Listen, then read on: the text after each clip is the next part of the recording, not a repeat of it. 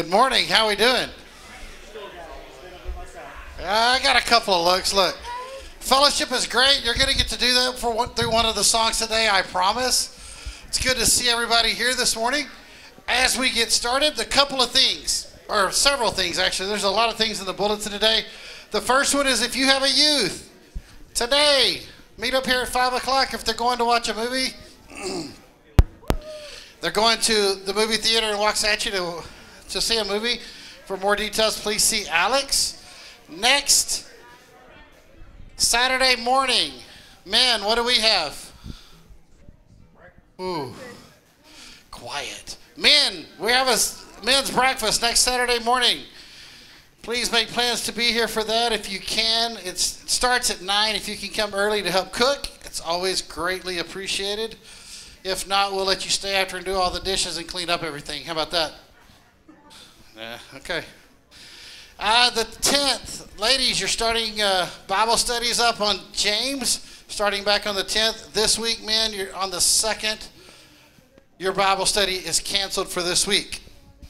Uh, and then youth, or yeah, pretty much youth, kids, all everybody going to schools. See you at the pole is coming up, and it is in September on the 25th. And then that evening, you can plan on coming to a youth rally. Do we know where that's at? Is that? That is going to be at the Avenue Church. I think it's at 6:30, but I'll get the times out. We'll get the times out to everybody. Okay. Uh, and then we'll end the month off with another business meeting.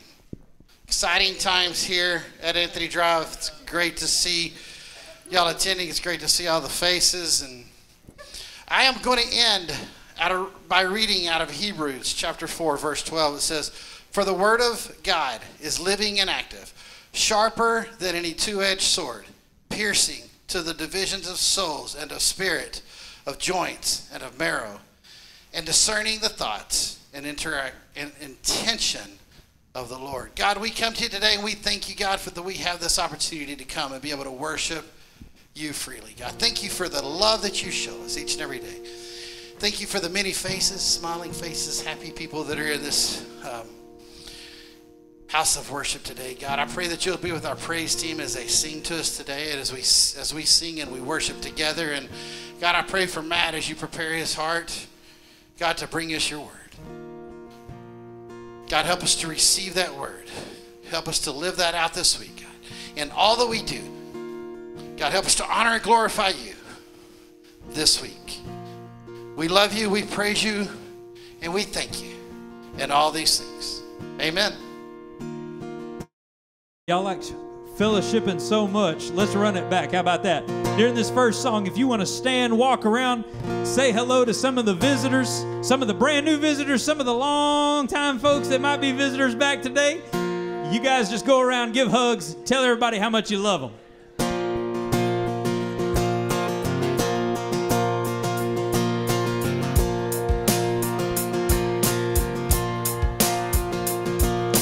I raise a hallelujah in the presence of my enemies. I raise a hallelujah louder than the unbelief. I raise a hallelujah. My weapon is a melody. Raise a hallelujah. Heaven comes to fight for me. And I'm gonna sing in the middle of the storm.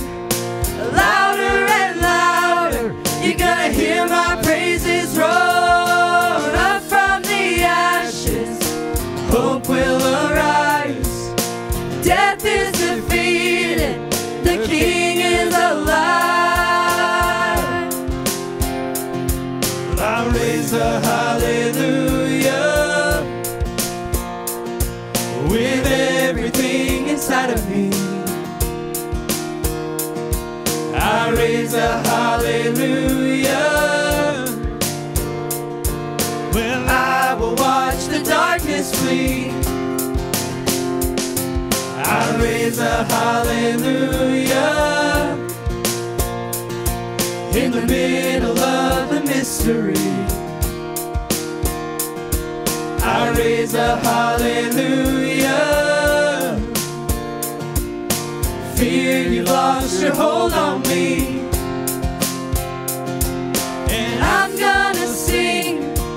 In the middle of the storm. Louder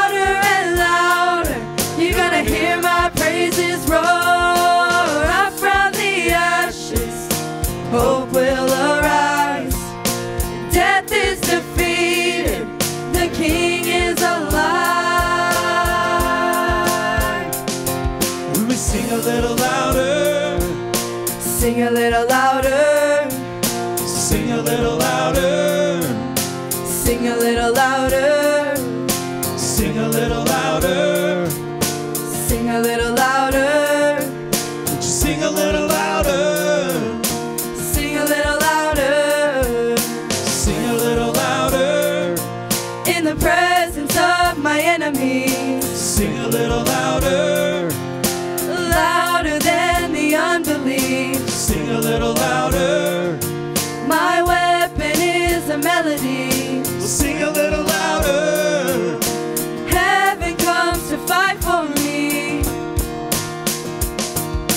And I'm gonna sing in the middle of the storm.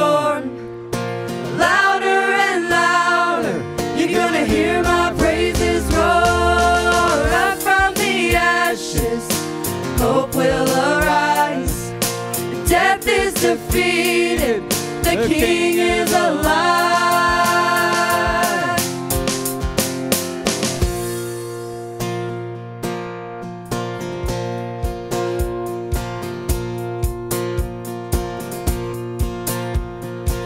Strength will rise as we wait upon the Lord. We will wait upon the Lord. We will Will rise as we wait upon the Lord. We will wait upon the Lord. We will wait upon the Lord our God. You reign forever.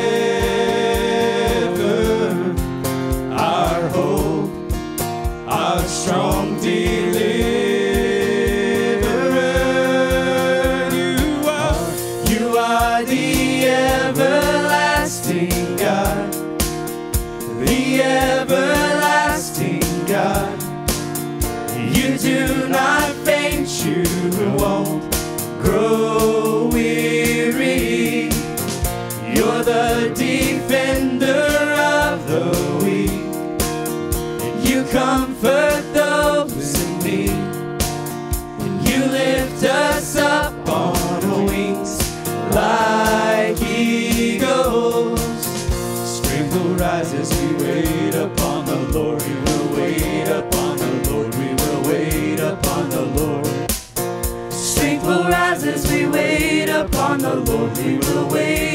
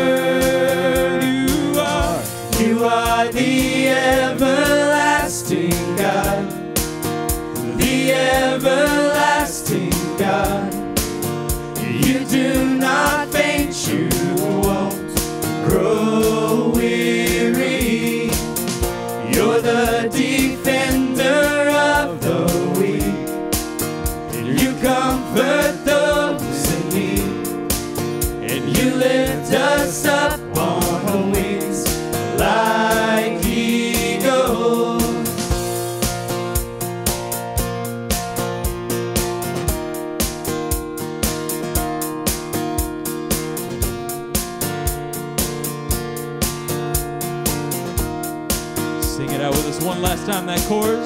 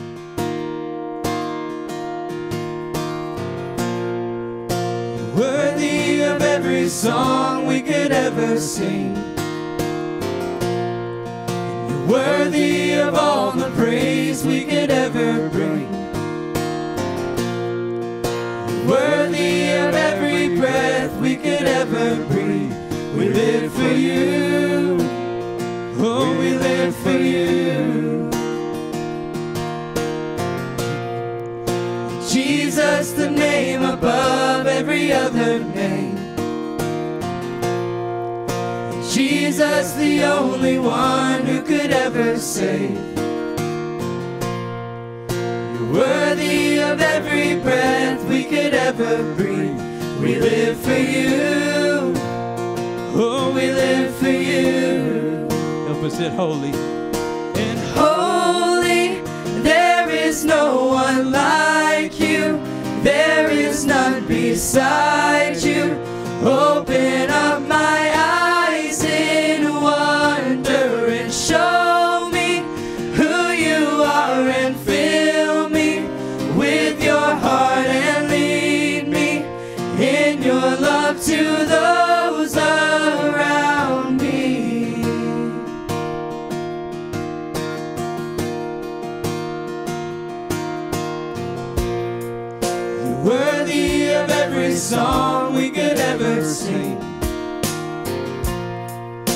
worthy of all the praise we could ever bring. You're worthy of every breath we could ever breathe. We live for you. Oh, we live for you. Sing holy. And holy, there is no one like you. There is none beside you. Open up my eyes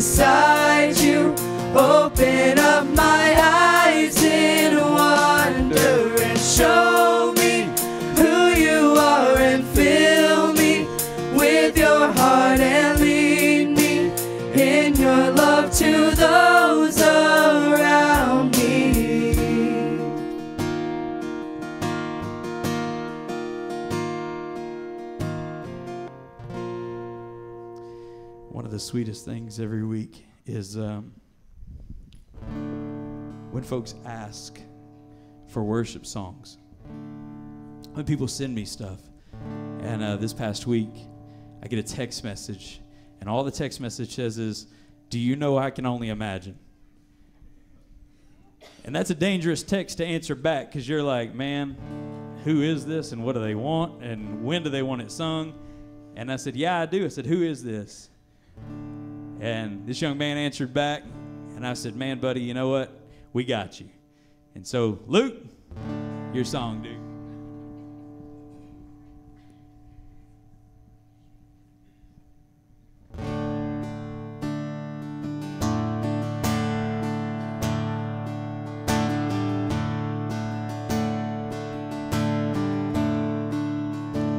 I can only imagine it will be like when I walk by your side. I can only imagine what my eyes will see when your face is before me. I can only imagine.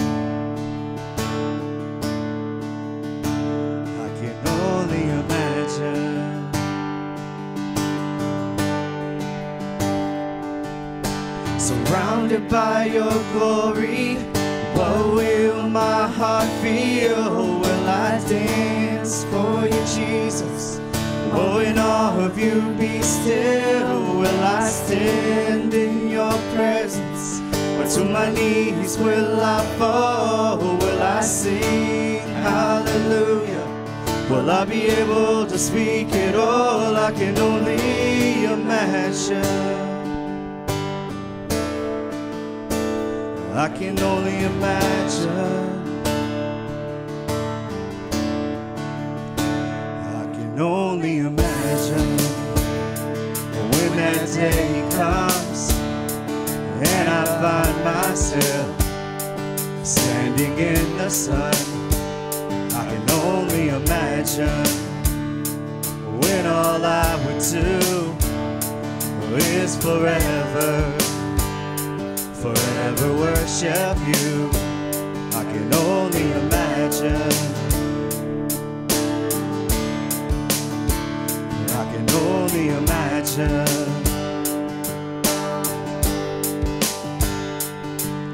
Surrounded by your glory, what will my heart feel? Will I dance for you, Jesus? In all of you be still. Will I stand in your presence? Or to my knees will I fall? Will I sing hallelujah? Will I be able to speak it all? I can only imagine. I can only imagine.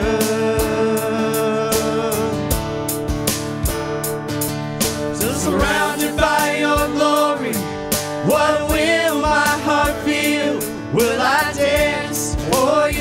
Jesus? In all of you be still? Will I stand in your presence? Or to my knees will I fall?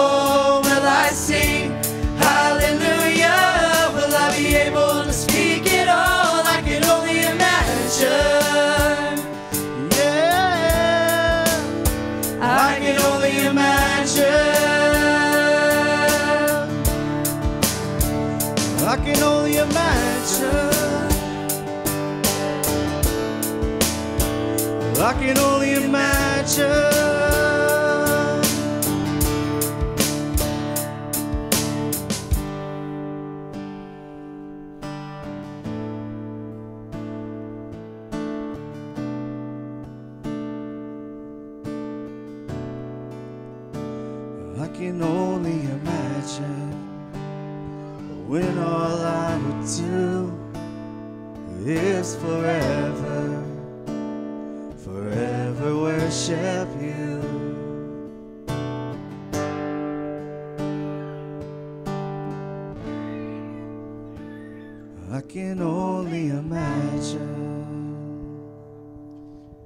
Father God, we love you.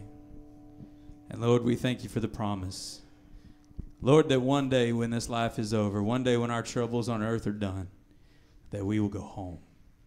Father, I thank you that no matter how I act, God, whether I walk in with sweet decorum or whether I come in acting a fool, Lord, I just thank you so much that you're going to wrap your arms around me and tell me you love me and tell me, well done. Well done, good and faithful. And Lord, I thank you that that has nothing to do with me and everything to do with you. Lord, I thank you for the promise. I thank you, God, for the word we're going to read today that assures us exactly of who you are. And Lord, I just thank you and I praise you. And it's in Jesus' mighty name. Amen.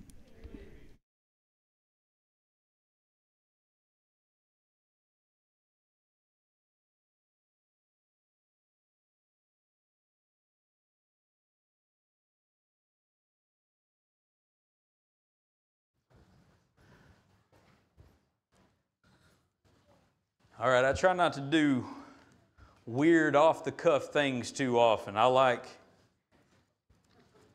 don't laugh at that. I like order. I like I like things being the same. I like for you to know what, what to expect when you walk in the door. That said, um, I do have something kind of out of the ordinary I'd like to do today.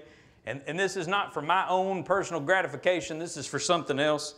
Um, everybody smile real big. I'm going to take your picture if that's okay. You should have worn your Sunday best. I know some of you hillbillies have been duck hunting all morning.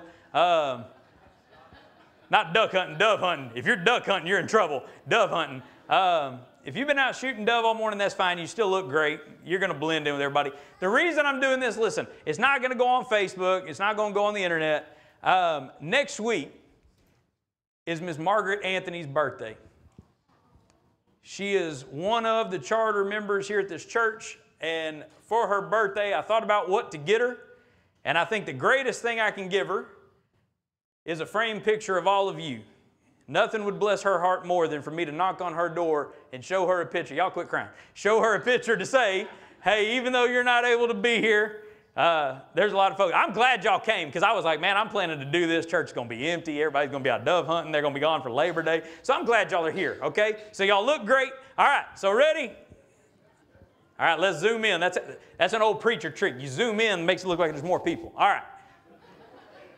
They don't know about that. All right, ready? One, two, three, go. Oh, you look great. All right, now we're going to flip this around this way.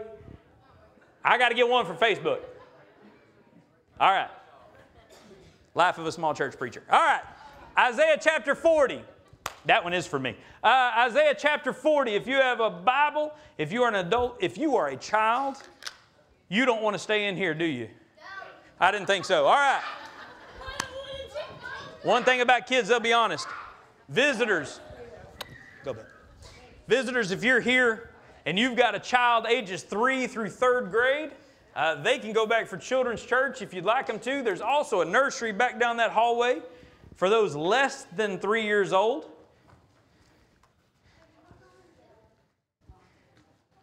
And uh, guys, I said it last week. I'm going to say it again this week. Y'all be praying for Miss Alice. Uh, Miss Alice found out this past week. I'm going to let her information be out there on Facebook. Um, Miss Alice found out this last week she has pretty severe pneumonia.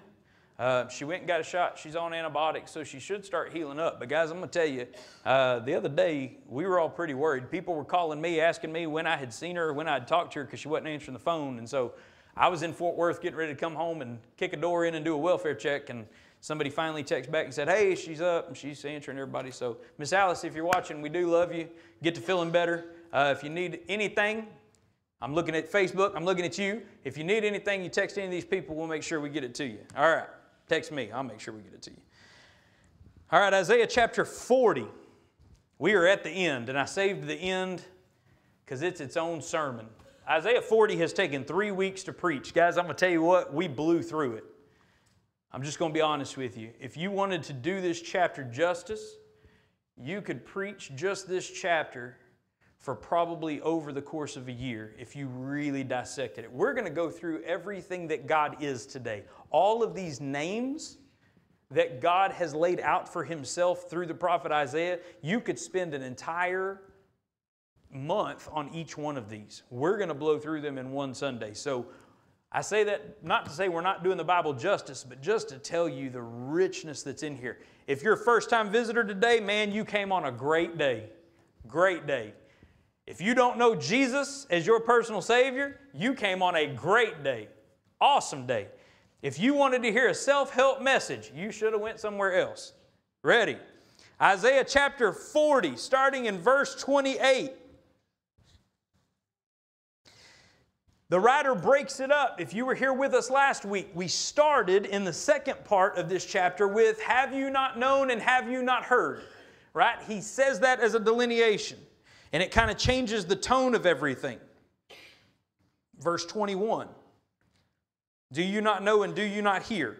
Then we come over to verse 28 and we hear the exact same thing. Have you not known and have you not heard? So the writer is compounding. Isaiah is compounding. He starts with God is the God over everything, right? He is, he is Lord over it all. He's going to be Lord over Israel, whether Hezekiah likes it or not, whether the next leader likes it or not, whether Assyria or Babylon likes it or not, he is God. And so he lays that down to them. Then he comes in last week, what we talked about last week at verse 21, and he begins to lay out his authority. If the nations are like one drop of a bucket, God's sovereignty, God's authority is buckets full. All right? How small the nations are in comparison to him. Now he is going to hit the finale, the crescendo, starting in verse 28. We're only covering four verses, but they are powerful verses. Have you not known and have you not heard that the Lord is the, the is vitally important there. Not a everlasting God, He is the everlasting God. He is the creator of the ends of the earth, and He does not faint and He does not grow weary. His understanding is unsearchable. He gives power to the faint, and to him who has no might, he increases their strength. Even youths shall faint and be weary, and young men shall fall exhausted. But they who wait for the Lord shall renew their strength. They shall mount up with wings like eagles, and they shall run and not be weary, and they shall walk and they shall not faint. It's an amazing chapter. God's promise here if the people had any doubt who God was after the first part of this message, Isaiah lays it home for them. Number one, and these headings, I don't even have to write a sermon, guys. I love weeks like this. Makes my job super easy. The headings speak for themselves. Number one, He is the everlasting God. He is the everlasting God. God is El Olam, the God everlasting. In case you don't know, in case you have not heard, ah, look at there. El in the Bible is one of the names, one of the names for God. It's just a common name for God. And then they would put these names after. You are El Shaddai. You are El Olam. You are God everlasting. He exists from antiquity to eternity. Who is the oldest person that you know? Luke, who's the oldest person you know since you're on the front? Be very careful. Oldest person, just think. Old. Say it out loud. No? it's a smart kid, man. Think of the oldest person you know, right? And you're like, man, they're old. That's old. You think back about historical facts. You look back at, at, history books and you look and go, man, that was so long ago. That was forever ago. Guys, I'm gonna, I'm gonna, I'm gonna wreck you. You ready? You ready? Back to the Future was made in 1985. No, no, no, no, no. Get ready. Get ready. That, that, that makes some of you feel old. Back to the Future, released in 1985. Marty McFly goes back in time to 1955. Great year. Leave it alone. 1955. So he goes back 30 years. If they released Back to the Future today, Marty McFly would go back to 1995. Guys, I was around in 95. I wasn't even new in 95. Like that hurts a little bit. Some of you are like, I wasn't even new in 55. That hurts. I know why y'all don't want me to preach a long time. Y'all got naps to take, right? Think about old. We think about old, man. We're talking old, old. God was there. God was there before it all. We talk about old, old. We talk about when continents were still placed together. We talk about when dinosaurs roamed the earth. We talk about time. Before time was even a construct, God was there.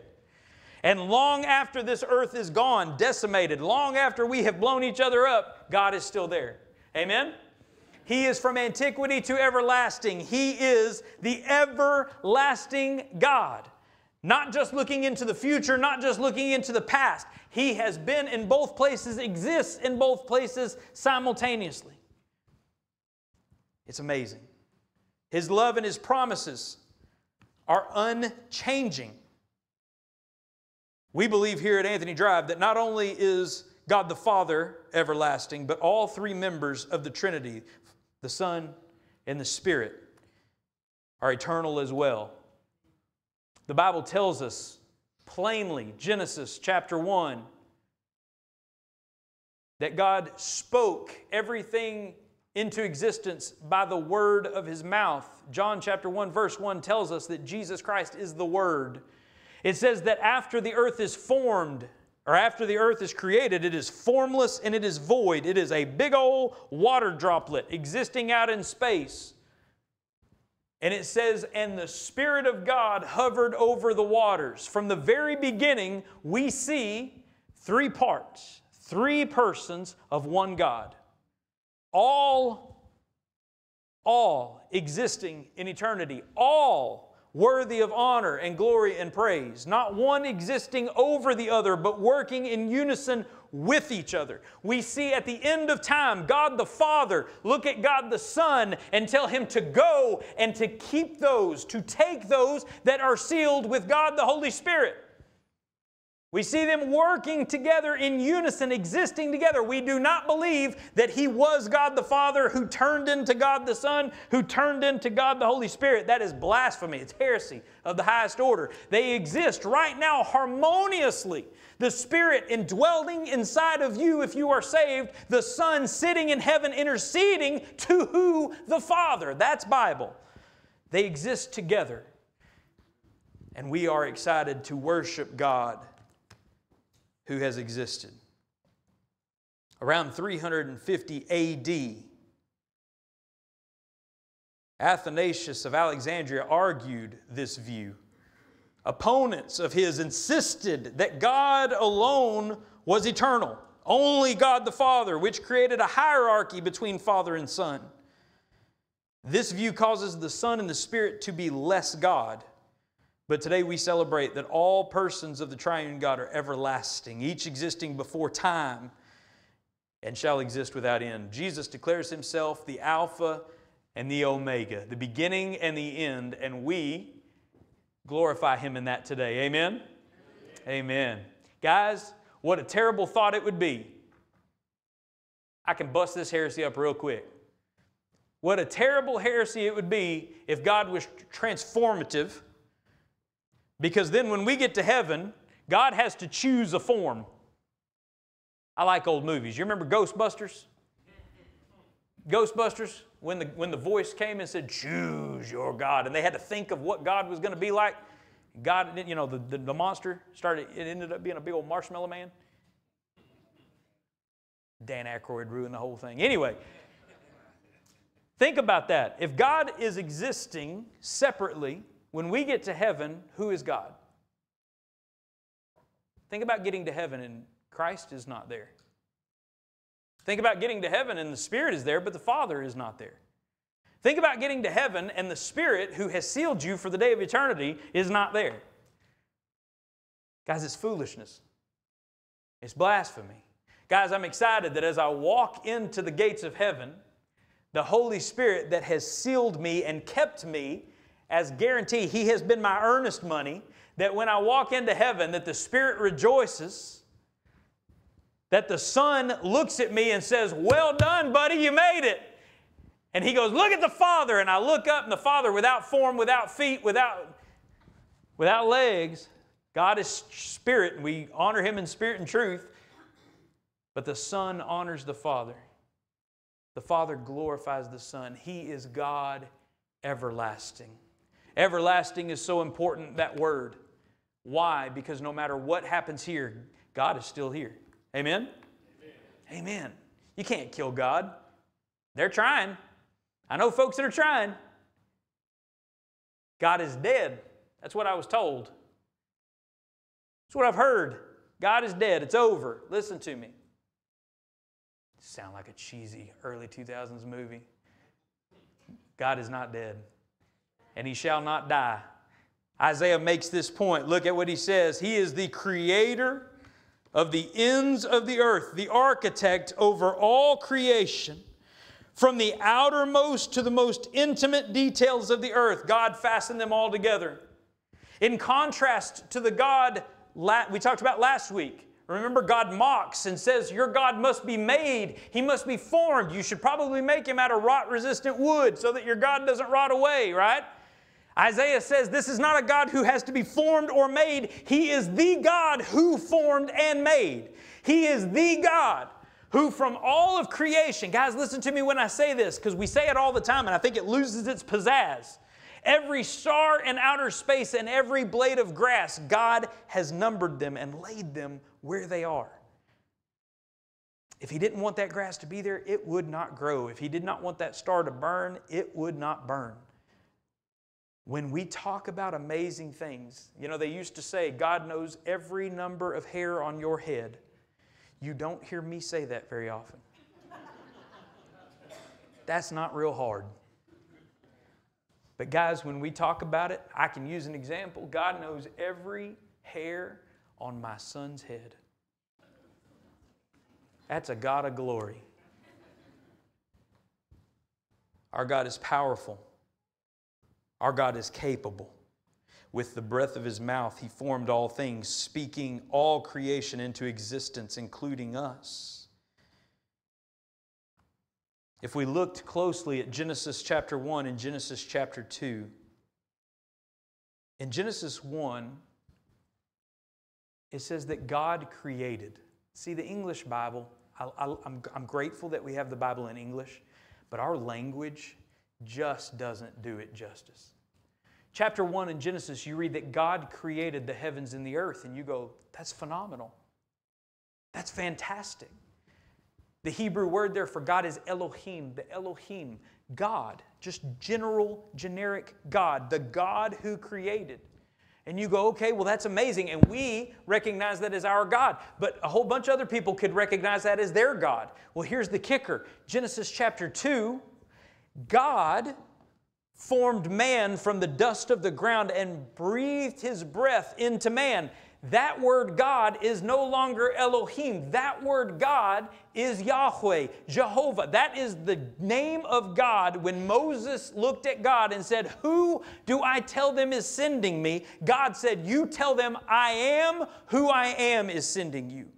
You tell them Yahweh. You tell them God of Israel, the one true existing God. That's what Yahweh, the existing one, the one who exists through everything, the one who exists in everything. Guys, listen to me a very impersonal view of creation in Genesis 1, and then God forms man, and God instructs Moses as he is penning out Genesis chapter 2. God says, Don't you dare use some general name for me. You use my name. The name that I gave you on the mountain, the name that I told you would save you. You tell them that I made you. Guys, that's amazing to me. We don't have the breath in our lungs of some generic God. We have the breath in our lungs of God the Father. We have the breath in our lungs of the existing one, the one who was, who is, and who will ever be. It says that God, our God, He is everlasting, the creator of the ends of the earth. He does not faint or grow weary. Anybody in here grow faint? You know what grow faint means? It just means you get tired. I'm the only one that gets tired. I used to be young, guys. You laugh. I'm getting older. I struggle to put on my socks in the morning. It's a struggle, man. Tasha yells at me every week. She's like, You need to start stretching. I'm like, I am. I'm trying to put these socks on my feet. Some of us don't have, you know, She's like, well, it's not that hard. I'm like, you got little legs. I'm like, look how far my feet are from my hands. Like, Right? I find myself getting winded, especially when we go and we do kids' trips with the church. You just sit there and you just go, just stop. For just a second, just stop. Like, slow down for just a minute. Some of you are like, I can't even volunteer for kids' stuff. There's no way. Guys, I grow weary. Not only physically, guys, I'm going to let you in on a secret. I grow weary of people. I don't know, you got that? Some of you are like, church is the most peoply thing I do all week. I grow weary. I just get to the point where I go, you know what? I don't, I don't want to deal with anybody anymore. I don't want to, I don't want to talk anymore. I just want to like, I just want to be by myself for a little bit. Listen to me when I say this. God exists forever, has existed and will exist forever. He controls all things, He sustains all things. And Isaiah looks at us and says, And He does not grow weary, He does not grow faint. God has never once, in all of existence, He has never once thought, I just need a break. I'm sick of these people. Now, He has gotten sick of our sin. But he has never once looked and said, I, I, just don't have the power to do this today. I don't have the drive to get up and do this today. I don't have the desire to be their God today. He does not grow weary. He does not faint. Guys, listen to me. I heard a pastor say this. I know I've used this before, but it really messed me up. We were at a worship conference. And I'm sitting there and they're talking about leading worship and I'm taking notes in. The guy's name is Travis Cottrell. And Travis is up there and he's on stage and he's talking.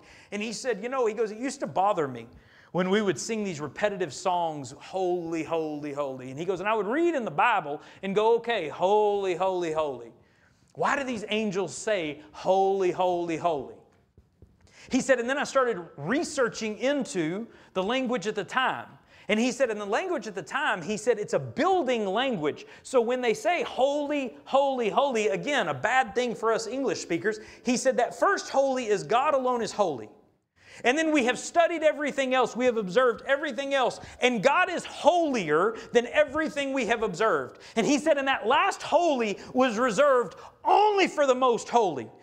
You are holy you are holier than everything else that we have observed. You are the holiest. You are the one full of glory, full of power, full of might. You are the one worthy of this praise. You are the one full of majesty. And he said, and that last holy is just this great big proclamation.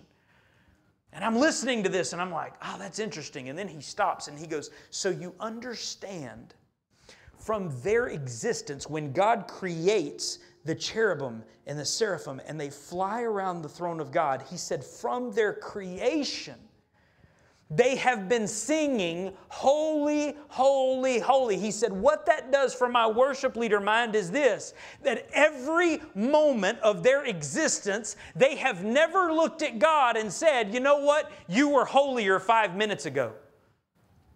They've never thought that. He said God's holiness is not diminishing. He said, if anything, as they see more of God revealed, as they sit around the throne of God, they are in awe because they go, There's no way, there's no way you can be more holy. There's no chance that it can get greater than this. And then they watch God in His awesome magnitude and His awesome majesty, and they bow down and worship, and they go, You are holy, holy, holy. You are the holiest that we have ever seen. And more moment by moment, they are awestruck by the majesty of God. And I think about that all the time when I lead worship, when we're singing. And I hear your voices come back, and I sit there and I go, God, are we even capable? Are we even able with these mouths that you've given us, with these hearts? Can we even get close to giving you the praise that you are due? I don't think we can. I don't think we can, not on earth. I think we, we, are, we are offering something up, and God looks at that offering, and through Christ, He is pleased with that offering. But listen to me. I'm telling you, when we get to heaven and we see the awesomeness of God, we are going to sing a song that we have never sang before. We are going to sing with an intensity with the choir of angels behind us, and they are going to shout and go, We told you, holy, holy, holy. Man, it's going to be good man, it's going to be good. And y'all just sitting there, golly, killing me, bro, killing me. Y'all gonna jump up in a minute and try to shoot some dove. Guys, listen. He is holy. He gives, he, he, he, he never grows faint. Matthew chapter 11, Jesus makes a proclamation. In Matthew chapter 11, you know what? Let's just turn there. If you got your Bibles, put my thing here in Isaiah. Go to Matthew. Matthew chapter 11. This is Jesus speaking. This is vitally important. Way down there at the bottom.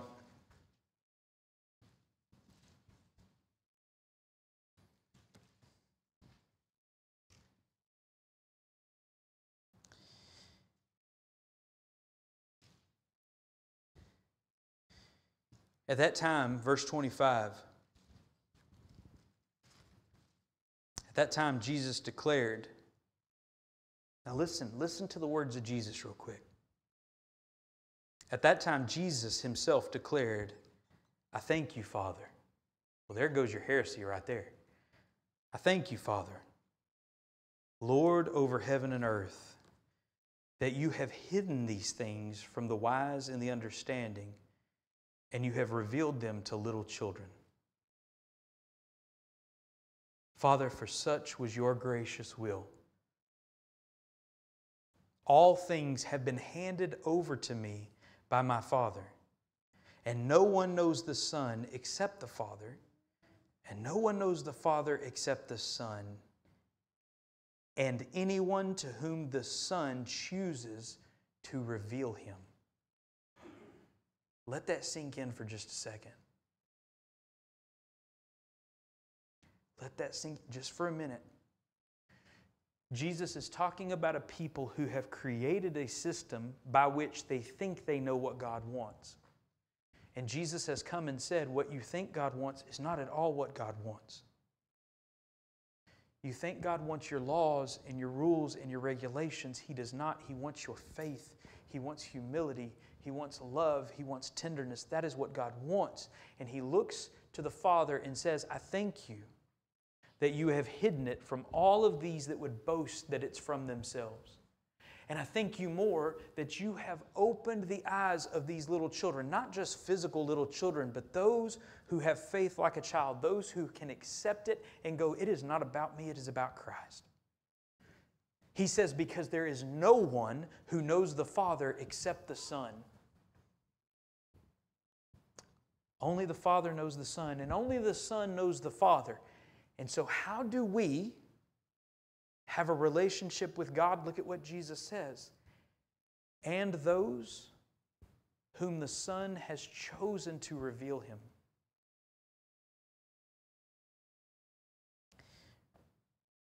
The God of all creation, the God of everlasting, who created legions of angels who sits on a throne in heaven, encircled in praise, sent his Son to live and die and teach and rebuke and rise again and save and ascend so that he could choose us and we may know the Father.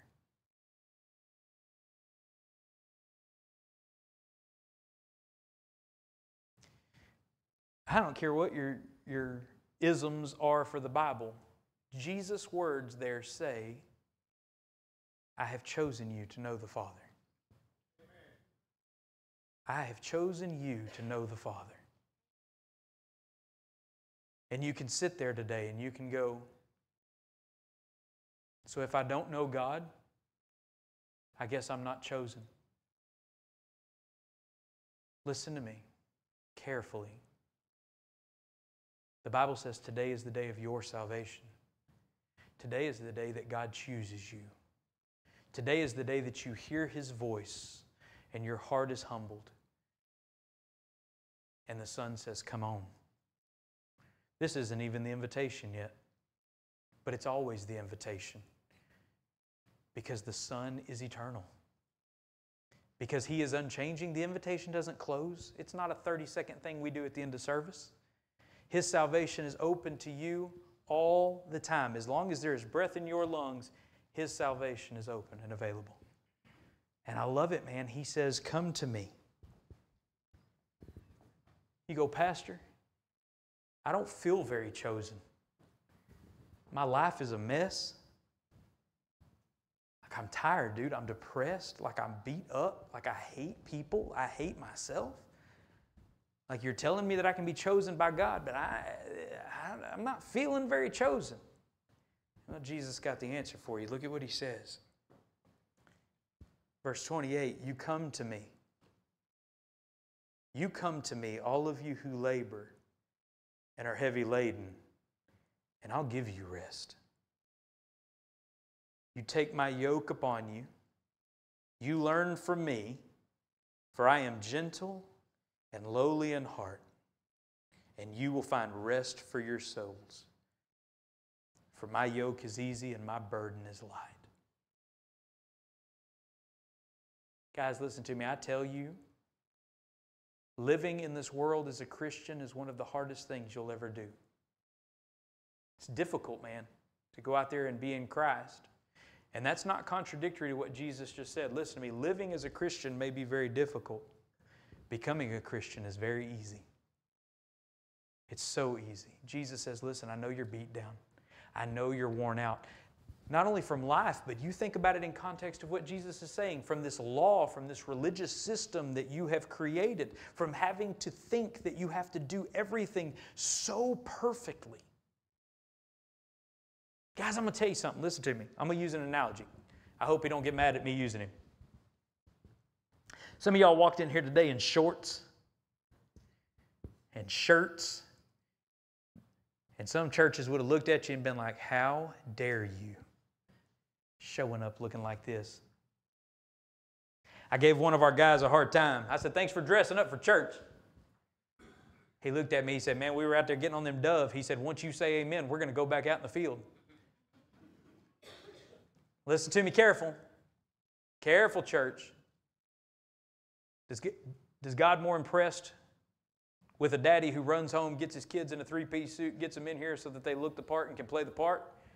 Or is God more pleased with a daddy who is sitting out in a field with his sons and he looks down and goes, Hey, let's go, pack it up, we got to get to church? We're going to come in a little muddy, but we're coming. Guys, listen to me. The system that they had created, Jesus looks at him and goes, Look, I know you're worn out.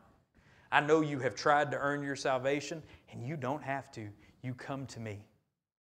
You come to me because I'm gentle, and this is easy. Easiest thing you'll ever do.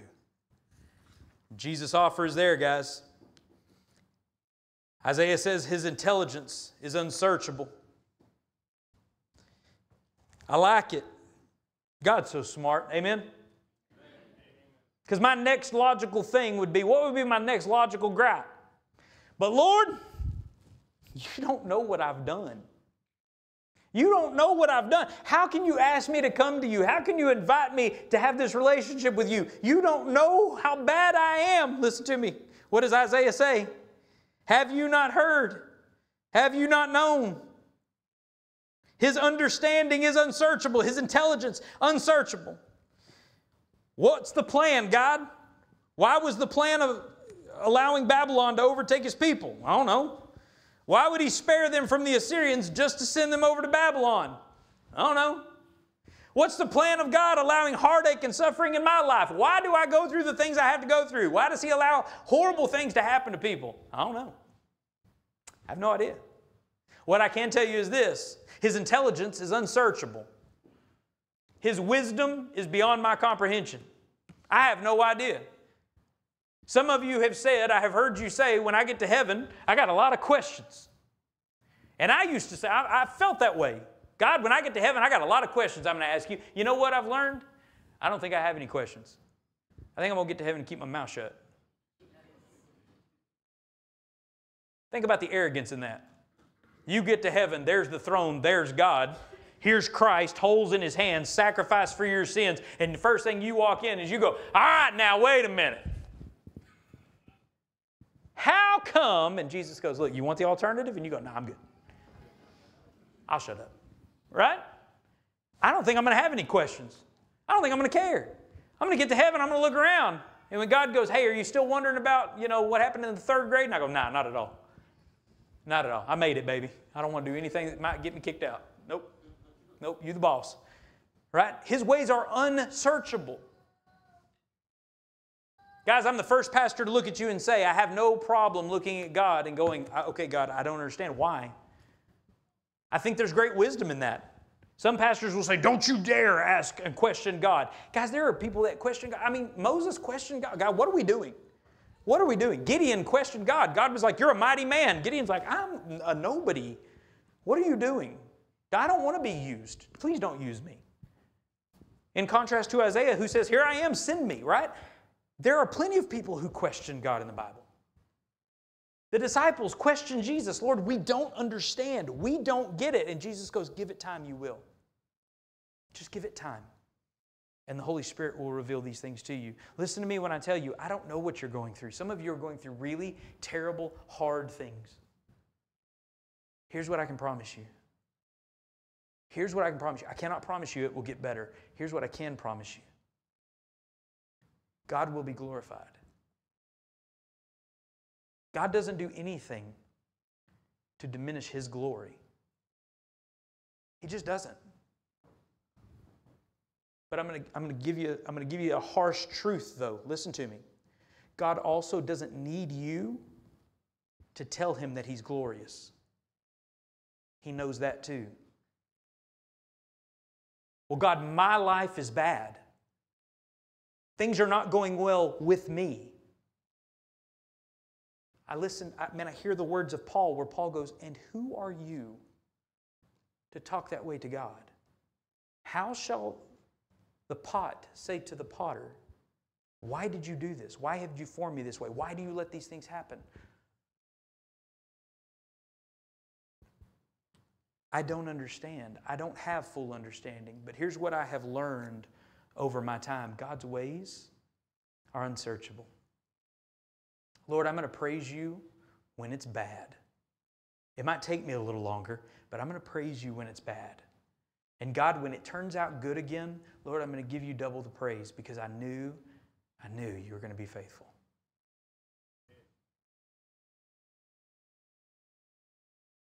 Isaiah says that though we may not understand the mind of God fully, in light of all of these other truths of God, we have to trust that God has a great plan that He is working out for His glory. Many people deny God because they don't have answers, because they don't have good health or they don't have an ease of life. I don't have the things that I think I should have, so I'm going to deny that there even is a God. Let me ask you this question, though. If all of these things were given to you, would you admit there was a God? That's the big question. Why do you deny God? Because I don't have answers. And there's suffering in the world. I blame God for suffering. Kids get cancer, man. If there's a God, why does God allow that? What's God doing about that? It's God's fault. Right? Don't argue with those people. Look at them, smile, and say, okay, let's take God out of the equation. There's no God. There's still kids with cancer. Whose fault is it now? If it's got to be somebody's fault, whose fault is it? But you say God is all powerful to fix everything, and He will. And He will. But right now they're suffering. And if you were humble enough, you would know why they're suffering. Do you know why they're suffering? Because God created it perfect. There was one rule, one. He gave us one rule. And guess what we did? Broke that joker. Like in the same chapter. We didn't make it to the next book in the Bible. We didn't make it to the next chapter. God said, There's a tree, don't eat that fruit. The very next line says, And the woman saw the fruit. You know, you're like, Man, you couldn't even give a breath in there and be like, Oh, and they went off and lived a thousand years and they were happy and healthy. No, it's like, right? Like, God said, Don't eat that. They looked over and they were like, Oh, it looks good though, right? It, you're like, Come on, man. We can't blame God for that. That's not on God, that's on us. And God is making all things. He's remaking all things. There will be a glorified state. There will be answers to those questions. There will be time when things are perfect. Here's the problem Without Christ, you're never going to see that. You're never going to see it. Here's the problem right now my life is broken. I got problems, I got issues. And without Christ, you know what I would focus on? All my broken issues, all my broken problems. With Christ, I'm able to go, you know what? I'm a mess, but I'm a loved mess. He loves me, has chosen me, has lavished His love out on me. And it causes me to come back and to glorify God. It says this He gives power to the faint, and to him who has no might, He increases strength. Even youths grow faint and are weary, and young men shall fall exhausted, but those that wait on the Lord shall renew their strength. There are three different words for strength in this short little bit. The Hebrew word koach is a reference back to creation, that God gives power to those that have none. Not physical power, not a power of position, but ability. That word means ability. To those who have no ability, I will give ability. God makes us able when we are unable. Do you hear me? That is a little bit of a pick me up message. That's a little bit almost, Matt, Matt Walker's almost getting into a prosperity gospel there. But that's Bible. God says, when you have no strength, I will give you strength. That word for strength is ability. When you are done and you are unable, I will make you able. Believe it or not. When I was a child, I was a shy child. Would not talk to people, would not leave my mother's side. So, for all of you that go, yeah, my kids just don't talk, listen to me. One day, they won't shut up. well, I don't have the ability to do this. Listen to me.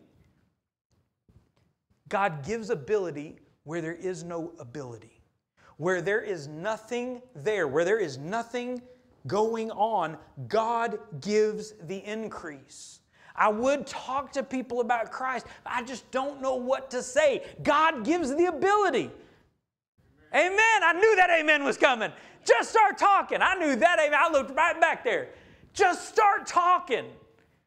You don't have to be some Bible scholar, do you? No. Anybody ever looked at you and been like, so, since you want to talk about the Bible, right, let's talk about the doctrines of. No. What do they do? They sit down, they look at you, and they go, Tell me about, tell me about Jesus. Mark was late last week. Late to the nursing home. Thought he wasn't going to make it. Was that last week? Two weeks ago. Two weeks ago. Come strolling in. I said, Where you been? I got hung up at the gas station. I was sharing the gospel with somebody. I said, Well, I guess you get a pass. They just want to hear about Christ. They just want to hear about forgiveness. They just want to hear about love. That's what they want to hear about. That's all they want to hear about because they don't understand it. They don't understand why you love Jesus. They don't understand why Jesus loves you. They don't get it. It's so foreign to them. They just want to hear how Jesus has changed your life. If you can't tell them that after sitting here for 20 years, you need to get up and go somewhere else because you're just wasting your time and ours. You should be able to walk in and go, let me tell you about Christ. And if somebody goes, what do you think about the doctrine of so and so? You go, I ain't got no idea about that. Let me tell you about Jesus that saved my life. Let me tell you how Jesus has changed my life. Let me tell you about Jesus, how I have seen where there was nothing, Jesus has made increase. Where I have seen nothing in my children, and I have been praying over my children, and all of a sudden now I'm seeing my children want to go to church and want to be invested and want to be involved, and they want that relationship with Christ. God gives ability where there is no ability. That's what Isaiah says. To those that are weak and those that are weary and those that are worn out, He gives it back. Not only that, he switches words up on us. He says this Even youths shall faint and be weary, and young men shall fall exhausted, but they who wait for the Lord shall renew their strength. The second word for strength is osma. To the one who lacks vigor, he gives a force. Now we're talking about actual hoorah force. This is military force. This is a push. He says, Listen to me. I'm going to give you the ability. I'm going to equip you for every good work. I'm going to give you the ability to walk out and tell people about me. I'm going to give you the ability to see lives changed. I'm also going to give you the ability, if you sit around and you go, Yeah, but I'm tired, get up off your hind quarters and go. Well, I would go, but I just don't have this desire to go. If you don't have the desire to share the gospel, you may want to recheck your gospel. You might want to recheck your salvation. You might want to recheck your desire. The greatest desire of every Christian is to get up and tell people about Jesus. Do you hear that? The greatest desire of every Christian should be to get up and go tell people about Jesus. If every church in Ennis did that today, if all of you got up with the force of Jesus in the Spirit of Christ, and you went out with a force, and every church in Ennis did the same, guys, listen to me. Ennis would be saved. Amen? So that's up to you. You're going to sit on your hands or you're going to get up and go? That's on you. Might be time to get up. You say, but I don't know. God, God will give. He guarantees it. Youth shall faint and be weary, and young men shall fall exhausted, but they who wait on the Lord, those who wait on the Lord, the Lord shall renew their strength. They shall mount up with wings like eagles. You will soar above all the rest of it, all the muck, all the nastiness of life. Now, listen, Another old movie reference. Ready? It's an old movie called The Never Ending Story. Mm-hmm. If you know, you know where it's going. I'm going to break your heart. There's a horse that dies in the mud. Spoiler alert, but if you ain't seen it by now, it's like 40 years old. There's a horse that dies in the mud. Listen to me. We don't soar above the world in arrogance haughty. We don't stick our nose above everybody and say, well, we're too good to come down and see you.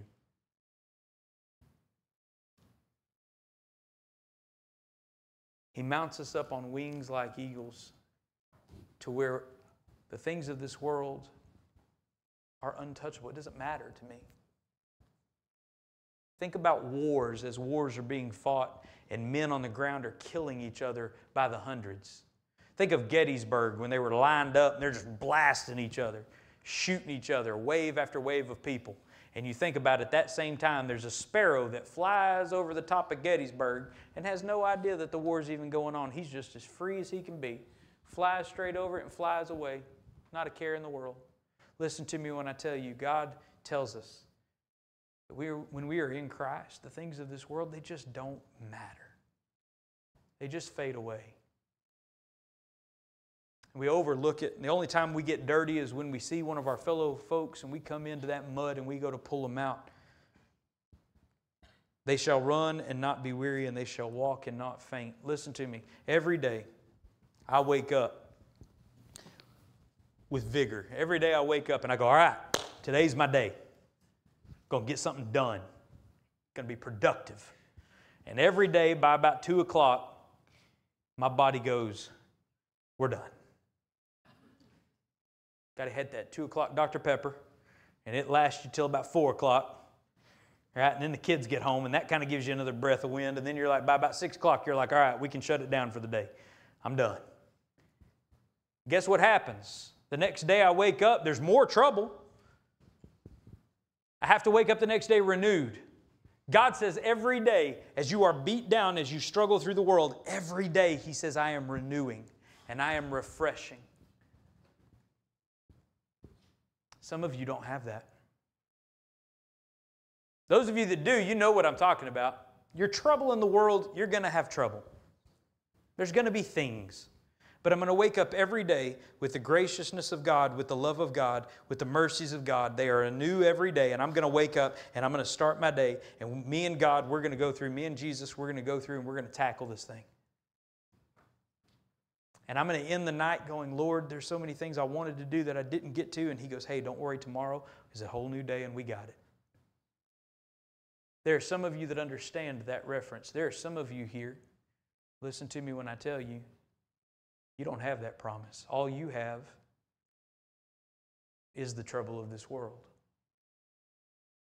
All you have is the fear of the world, the depression of the world.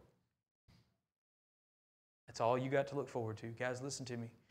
Christ tells us, God tells us in Isaiah chapter 40, He is supreme. I don't have to worry about one day God looking down on me and going, you know what? I don't have any mercy for you today, Matt Walker.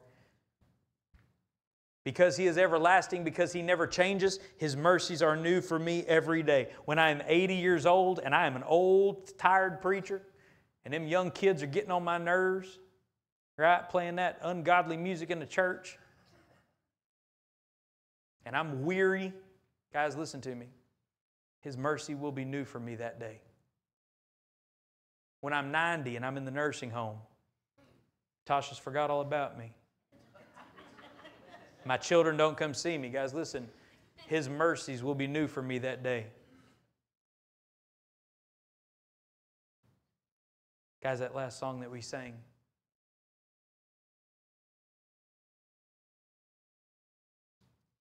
as I walk through the gates of heaven, as I walk in and I look around and I see Jesus, and I realize that His mercy for me doesn't stop when I died here. That every moment that I am in heaven, without fear of getting rejected, without fear of getting removed, that His mercies are new for me every moment. He's unchanging, everlasting, a holy, magnificent Father. Guys, that is the God that I serve. He doesn't beat me down, He doesn't wear me out.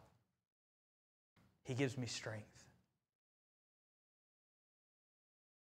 If you're here and you need a relationship with Jesus, in just a minute, I'm going to walk to the back. I'll be back there. You grab me. You say, Hey, I need to, I need to talk with you about my relationship with Christ. I tell people this every week. I don't care if there's 90 people around me. I don't care if I'm in the middle of a conversation. Come over, tap my shoulder, say, You and I need to talk. I can talk to them later. Guys, I'm going to pray in just a second that if you're here, if Jesus is calling you, guys, you can't, you're not going to run from the calling of Christ. Oh, you can run today. You can run today. You can run, you can run as far away as you want to. Ask Jonah. God's will will be done. And so today I'm going to pray a prayer that it would go well with you if God is calling you to give your life to Christ. Don't make it harder than it has to be. He loves you. He desires graciousness. He desires to be gracious towards you. He desires to just pour out His love on you. That's all He wants. Let's pray together. Father, we love you. Lord, I thank you for today. I thank you for this time that you've allowed us. Father, I thank you for all these folks that have come in here to hear your word and to worship you. And Father, I just pray, Lord, I pray that if there's somebody here today that doesn't know you as their Savior, if there's somebody here who's being called and pulled towards a relationship with you, Father, if they if they just don't know, Lord, I just pray that you would make it known to them. Father, I pray that you would not let them leave this place. Father, I pray that you would just make their heart miserable with their sin, with their need. And Father, I pray that you would help them to know that you are the one that breaks down those hearts of stone and turns them to a heart of flesh. You are the one that takes the lost and makes them found. Lord, you are the one that takes those that are desperate, those that are hurting, and you give them strength. Lord, we love you. Lord, I pray that you would save souls. Father, I pray for those of us here that are saved. Lord, I pray that you would help us to quit pretending how much we love you. Help us to stop pretending that we're excited to be Christians. And Father, I pray that you would give us some of that ability, some of that force. I pray, God, that as we leave these doors, that we are going out into a mission field, into a dark world, owned and operated by the devil himself. And Lord, I pray that you would help us to be the light in a very dark place. Help us to love you. Help us to be ambassadors of you. Help us, Father, to be fearless in our faith. Lord, help us to love well. Lord, we love you. And it's in the mighty name of Jesus we pray it all. Amen.